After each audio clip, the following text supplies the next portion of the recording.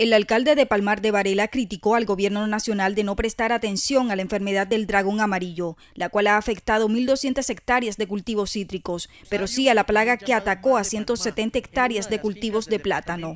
Nos tiene muy preocupado ese tema de que por qué tanto interés para que de inmediato el gobierno nacional cobijara y le diera la protección eh, tanto asistencia técnica, cuando buscar forma de cómo subsidiar a esas familias y en cambio en el tema de los cítricos seguimos con la preocupación desde el primer día.